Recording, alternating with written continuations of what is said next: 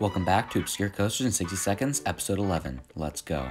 Let's start out with a question. What are some intriguing Japanese roller coasters? Common answers include Dodonpa, Eejanaika, and Steel Dragon 2000, but I bet there's one you didn't think of. Big Boom at Nasu Highland Park.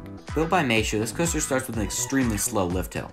After this is a 270 degree turn to the left followed by a 90 degree turn to the right to get lined up with the first drop.